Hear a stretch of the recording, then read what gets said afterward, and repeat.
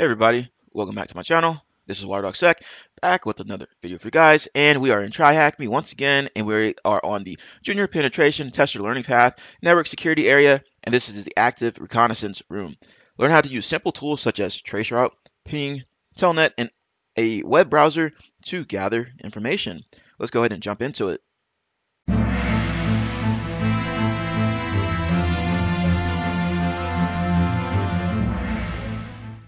Task 1 Introduction.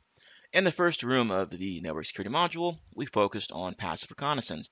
In the second room, we focused on active reconnaissance and the essential tools related to it. We learned to use a web browser to collect more information about our target.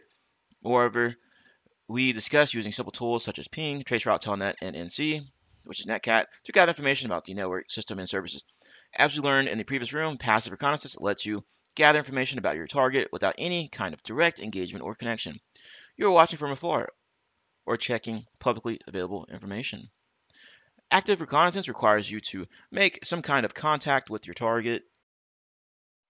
This contact can be a phone call or a visit to the office, or oh, sorry, a visit to the target company under some pretense to gather more information, usually as part of social engineering. Alternatively, it can be a direct connection to the target system, whether visiting their website or checking if their firewall has an SSH port open. Think of it like you are closely inspecting windows and door locks. Hence, it is essential to remember not to engage in active reconnaissance work before getting sig- or signed legal authorization from the client. In this room, we'll focus on active reconnaissance. Active reconnaissance begins with direct connections made to the target machine. Any such connection might leave information in the logs showing the client IP address, time of the connection, and duration of the connection, among other things. However, not all connections are suspicious. It is possible to let your active reconnaissance appear as regular client activity. Consider web browsing. No one would suspect a browser connected to a target web server among hundreds of other legitimate users. You can use such techniques to your advantage when working as part of the red team, attackers, and don't want to alarm the blue team, defenders. In this room, we go through various tools commonly bundled with most operating systems or easily attainable. We begin with the browser and its built-in developer tools. Furthermore, we show you how a web browser can be armed to become an efficient reconnaissance framework. Afterwards, we discuss other benign tools such as ping, traceroute, and telnet. All these programs require connection to the target, hence our activities would fall under active reconnaissance. So I'm assuming if we're going to be using Telnet and like Netcat, probably going to be doing like some banner grabbing stuff to determine what's running on that particular port. This room is of interest to anyone who wants to become uh, familiar with essential tools and how or and see how they can use them in active reconnaissance. The web browser developer tools might take some effort to gain familiarity, although it offers a graphical user interface. The command line tools covered are relatively straightforward to use. Important, please note that if you're not subscribed, AttackBox won't have internet access, so you will need to use the VPN to complete the questions that require internet access. Question time. Ensure that you understand the tools fall under active reconnaissance. Launch the attack box if I already have it open here. You'll need to answer the question, especially in later tasks. All right, so task number two, we're going to talk about web browser stuff. The web browser can be a convenient tool, especially that it is readily available on all systems. There are several ways where you can use a web browser to gather information about a target. So I'm just going to go ahead and launch Firefox while we're reading through here. On the transport layer, the browser connects to TCP port 80 by default when the website is accessed over HTTP. TCP port 443 by default when the website is accessed over HTTPS. Since 80 and 443 are default ports for HTTP and HTTPS, the web browser does not show them in the address bar. However, it is possible to use custom ports to access a service. For instance, HTTPS 120 127.0.0.1 8834 will connect to 127.0.0.1 localhost as part of 8834 via HTTPS protocol. If there is an HTTPS server listening on that port, we will receive a web page. While browsing a web page, you can press the Control Shift I on a PC or the Option plus Command plus I and I guess that's what it looks like here. On a Mac, to open the developer tools on Firefox, similar shortcuts will also get you started with Google Chrome or Chromium. Developer tools will let you inspect many things that your browser has received and exchanged with the remote server. For instance, you can view and even modify the JavaScript files, inspect the cookies on your system, uh, sorry, inspect the set, inspect the cookies set on your system, and discover the folder structure on the site client or content. Uh, below is a screenshot of Firefox Developer Tools. Chrome DevTools is quite similar. So if you go and you can do the shortcut, you can just go in here and go to, I believe it's more tools. And yeah, Web Developer Tools to open it up the manual way. All right, so let's continue on. They're just showing you a screenshot of what it looks like here. That's what it looks like. So let's go back out of this and let's continue on here. And if I just raise it up here a little bit, you can see what uh, Developer Tools brings inside of here. So we got network stuff, debugger, all kinds of stuff. So if you go to network, you can hit refresh, and it'll bring up some stuff in there and that some more information. But all right, let's continue on. There are also plenty of add-ons for Firefox Chrome that help in penetrate testing. Here are a few examples. Now be sure to read through these all the way. You got Foxy Proxy, which we have already installed here lets you quickly change the proxy server you are using to access the target website. So if you want to switch around to like Burp or something else to send your traffic through, you can do that easily through here. You can disable it. User Agent Switcher and Manager gives you the ability to pretend to be accessing the web page from a different operating system or a different browser. Web Appalizer or Wappalizer provides insights about the technologies used on the visited websites. Such extension is handy primarily when you collect all this information, etc., etc. This is what it looks like here, and you can install it. It's not installed here, but this is what it looks like. Whenever you browse to uh, specific websites, it'll tell you some information about it, like this. Let's continue on. Over time, you might find a few extensions that fit perfectly in your workflow. All right, question time. Browse the following website and ensure that you have opened your developer tools on AttackBox, Firefox, or the browser on your computer Using the developer tools, uh, figure out the total number of questions. All right, so be sure to check this out and let's come back for the actual uh, solution to this. The correct answer. If you're not able to find the answer, well, guess what? We're about to find out right now. So you navigate to this particular website they want you to go to, have web developer tools open, and this is the network tab we're taking a look at here.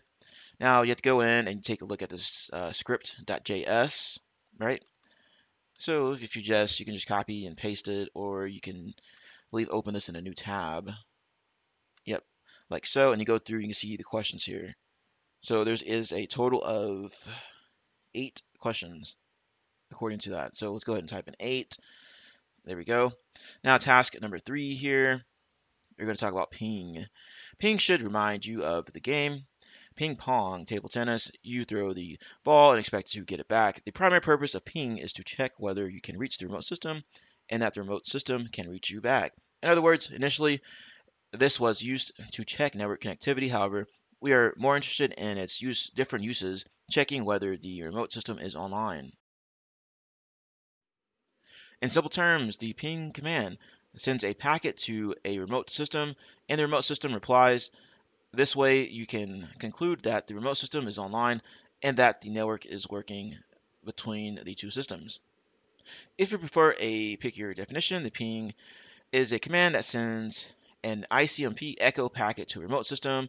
If the remote system is online and the ping packet was correctly routed and not blocked by any firewall, the remote system would send back a ICMP echo reply. Similarly, the ping reply should reach the first system if appropriately routed and not blocked by any firewall. The object of such a command is to ensure that the target system is online before we spend time carrying out more detailed scans to discover the running operating system and services. On our AttackBox terminal, you can start the ping command as the following here. So I'm going to copy and paste this. And we're going to take a look at the terminal here.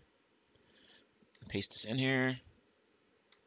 This what ping looks like. I'm sure everyone has used ping at some point in their career or even in uh, school. But let's go ahead and continue. You can see it doesn't stop here as opposed to Windows. It, will ping it like maybe four or five times or something and stop. But in Linux, it just keeps going until you stop it, or you can, I believe you can set the amount of um, ping requests you want to send out. But anyway, let's continue. Uh, you can ping the host name as well. And the later, the system uh, needs to resolve host name to an IP address before sending the ping packet. If you don't specify the content on the Linux system, um, or sorry, you don't specify the count on the Linux system, you will need to hit the Control C, as I've already stated, to force it to stop. Hence, you might consider the following here. So if you do ping dash C, if you just want to send 10 packets, this is the equivalent to the following here on a MS Windows system. So let me clear all this stuff out of here like so, and then paste this in, and it should ping it 10 times. Technically speaking, ping falls under the protocol ICMP, which stands for the Internet Control Message Protocol. ICMP supports many types of queries, but in particular, we are interested in ping.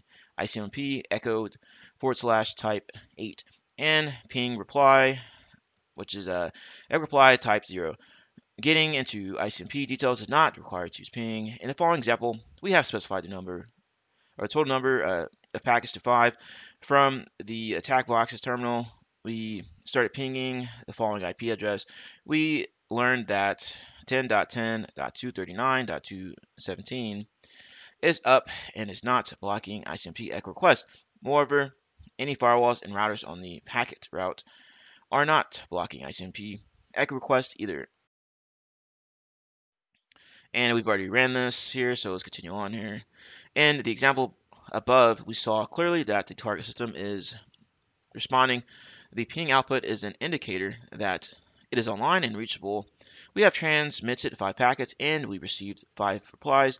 We noticed that on average it took around 0.475 milliseconds for the reply to reach our system, with any maximum being 0.636 milliseconds.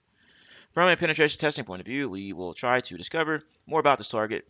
We will try to learn as much as possible, for example, which ports are open and which services are running. Let's consider the following case. We shut down the target virtual machine and then tried to ping it. As you would expect, in the following example, we don't receive any reply. And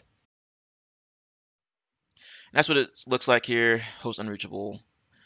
In this case, we already know that we have shut down the target computer that has the 10.10.239.217. For each ping, the system we are using, attack box in this case, is responding with destination host unreachable. We can see that we have transmitted five packets, but none was received, resulting in a 100% packet loss. So be sure to try this out if you uh, want to see this on your own. I'm not going to do it.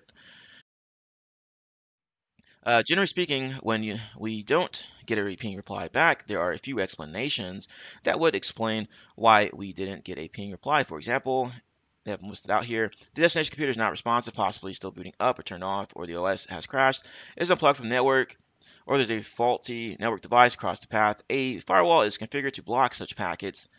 Um, your system is unplugged from the network. Okay, now let's continue to the questions. Which option could you use to set the size of the data carried by the ICMP echo request? Um, let's go ahead and see if we can find this out. So we do ping dash H or something. Okay. And it wants us to send the size of the data. So if we look in here and try to figure that out, it should be maybe the packet size. So let's do dash S. There we go. What is the size of the ICMP header and bytes? And I don't know if that was explained or not, but let's go ahead and try to find this. Hey everybody, just a quick little blurb here. As you can see here, most people that view my channel are not subscribers.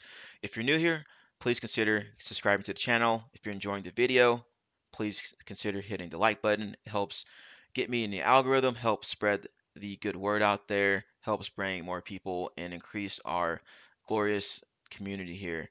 All right, I'm all about helping out others. I know what it's like to come up in cybersecurity or even try to get into cybersecurity and not knowing where to look. I'm just having this channel up so I can help out other people. All right, that's all I got.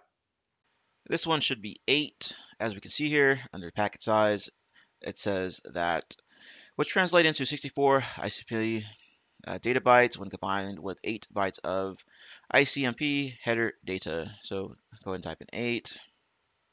There we go. Does MS Windows, which is Microsoft Windows, firewall block ping by default? And that's a yes. Because if you scroll back up here, it says it right here, note that Microsoft Windows Firewall blocks ping by default.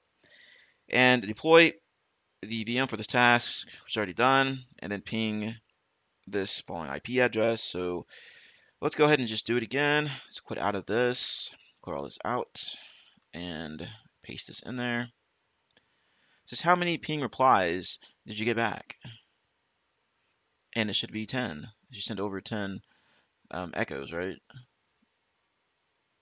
Yeah. 10, uh, 10 packets transmitted and uh, 10 received.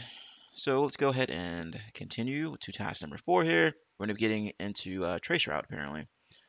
As the name suggests, the traceroute command traces the route taken by the packets from your system to another host. The purpose of a traceroute is to find the IP addresses of the routers or hops that a packet traverses as it goes from your system to a target host This command also reveals the number of routers between the two systems. It is helpful as it indicates the number of hops, routers between your system and the target host. However, note that the route taken by the packets might change as many routers use dynamic routing protocols that adapt to network changes on Linux and Mac OS.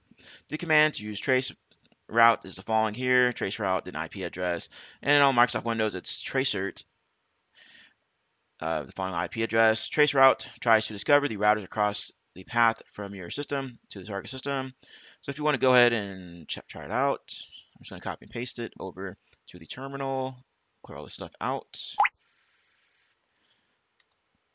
And let's go ahead and paste this in. There we go. There's no direct way to discover the path from your system to a target system. We rely on ICMP to trick the routers into revealing their IP addresses.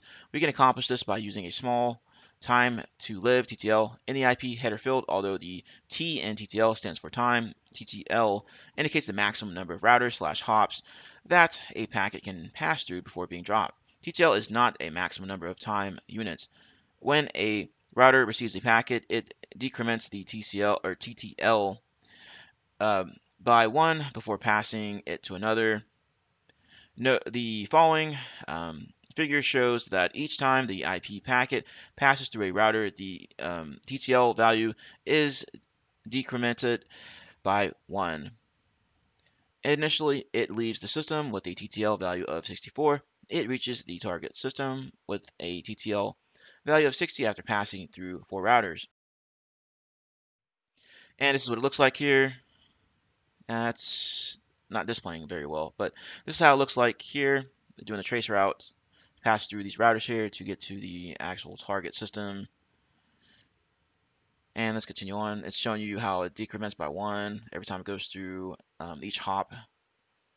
However, if the TTL reaches zero, it will be dropped, and an ICMP time to live exceeded would be sent to the original sender. In the following figure, the system set TTL to 1 before sending it to the router. The first router on the path decrements the uh, TTL by 1, resulting in a TTL of 0. Consequently, this router will discard the packet and send an ICMP time exceeded in transit error message. Note that some routers are configured not to send such ICMP messages when discarding a packet. And it's another infographic of the process here. Let's continue on. On Linux, trace route. We'll start by sending UDP datagrams within IC or within IP packets of TTL being one. Thus, it causes the first router to encounter a TTL equals zero and send an ICMP time to live exceeded back. Hence, a TTL of one will reveal the IP address of the first router to you. Then it will send another packet with TTL equals 2. This packet will be dropped at the second router, and so on. Let's try this on live systems. In the following examples, we run the same command. So let's go ahead and run this inside of our terminal here.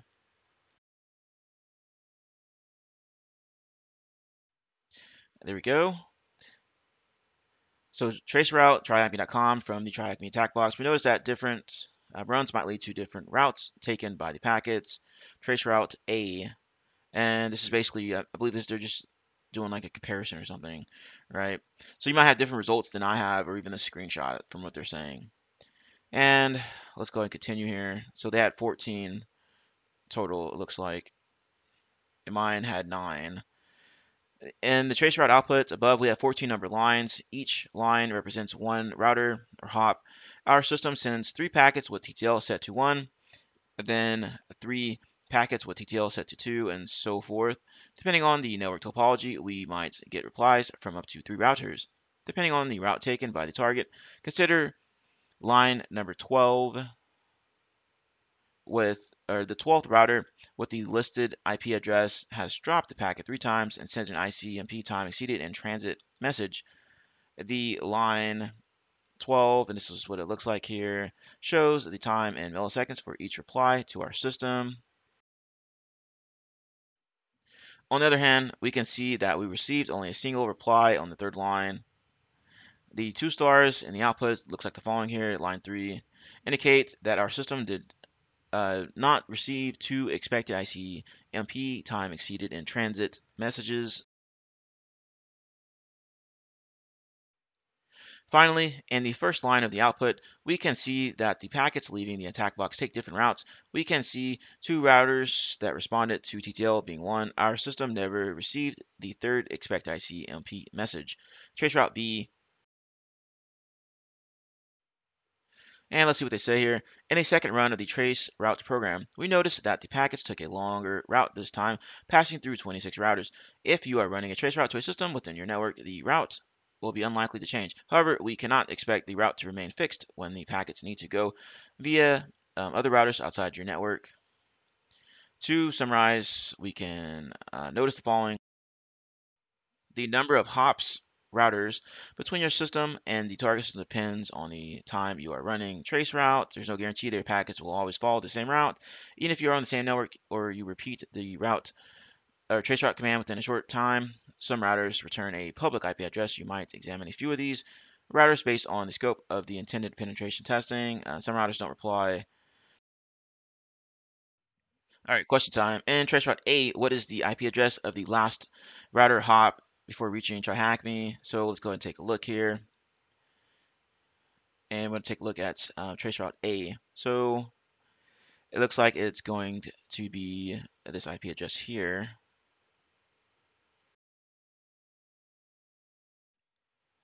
Let's go ahead and grab this and paste it. and traceroute B, what is the IP address of the last router hop before reaching TryHackMe. So same thing here, like this last one. And it should be this 104 IP address here. So let's go ahead and copy this and paste it in. I'm sorry, before. Yeah. So let's go ahead and get this in there.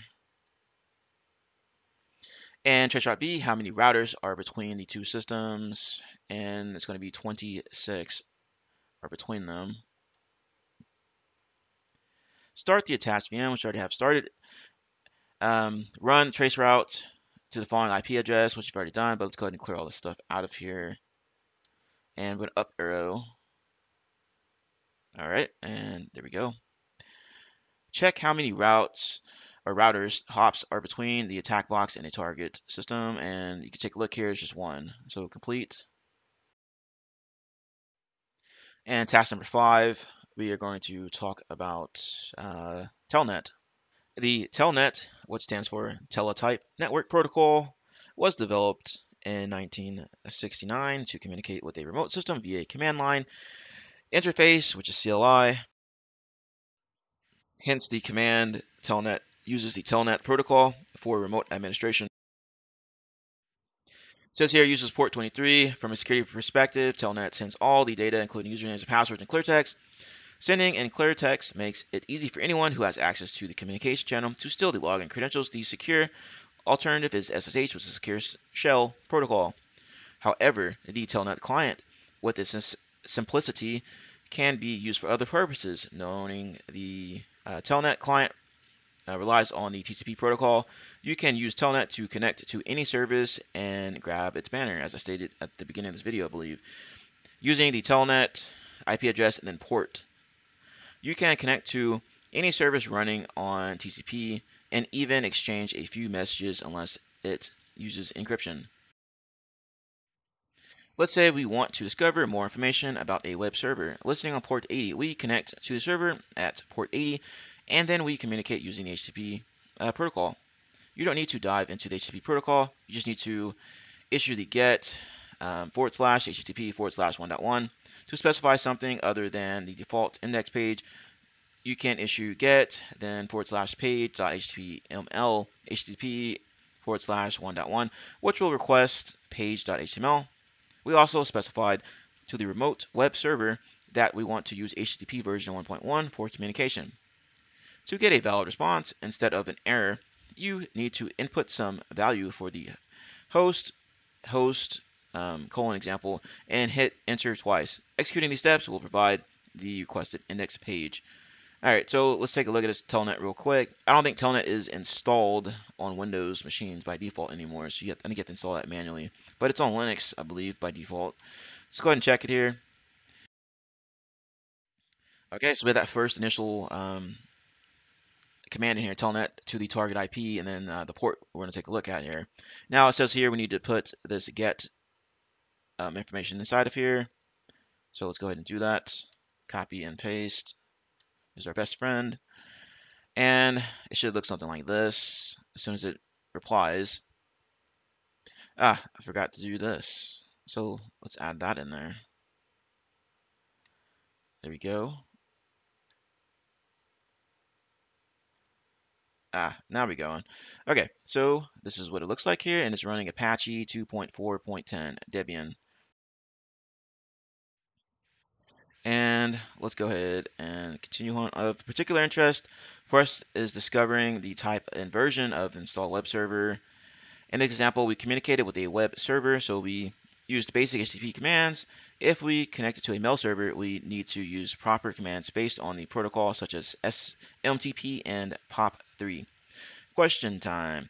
Start the attached VM, which already have started. Open the terminal and use the Telnet client to connect to uh, the VM on port 80, what's running on the server? Well, well, we can see here that it's running Apache.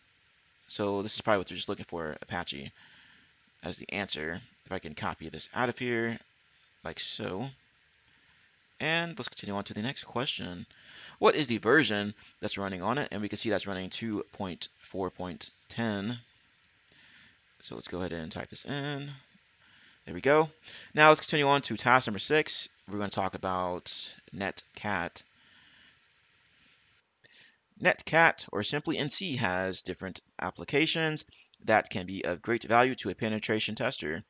Netcat supports both TCP and UDP protocols. It can function as a client that connects to a listening port. Alternatively, it can act as a server that listens on a port of your choice. Hence, it is a convenient tool that you can use as a simple client or server over TCP or UDP. If you've done any type of CTF type work, you probably used Netcat before. First, you can connect to a server, as you did with the Telnet, to collect its banner using the following information, uh, netcat or NC, and then IP address of the target, and then the port, which is quite similar to the previous uh, Telnet, IP, and the port. Note that you might need to press Shift plus Enter after the get line. So let's go ahead and try this with netcat. So copy this out of here and paste it. Let me clear all this stuff out and then paste this in here like so. And it should be connecting. Now, as that's running, let's go ahead and get this ready to go. So let's go ahead and paste this in. And then says shift and enter to get a new line. But okay, it already went. Awesome. Bad request.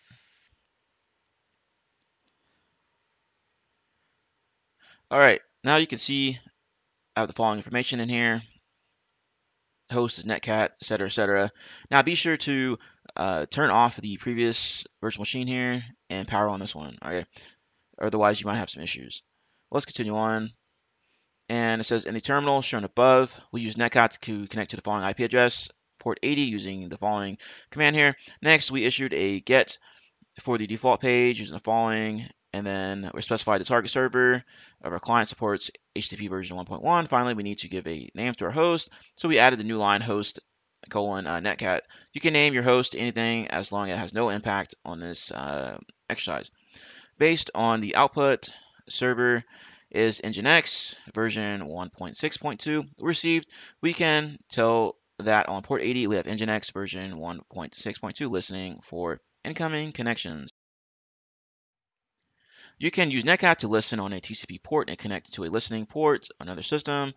On the server system, where you want to open a port and listen on it, you can use the following, which is netcat-lp, which is, uh, I think, dash L is listening or listen, and then P is the port for uh, the port number 1234, or better yet, netcat-vnlp1234, which is equivalent to the following here.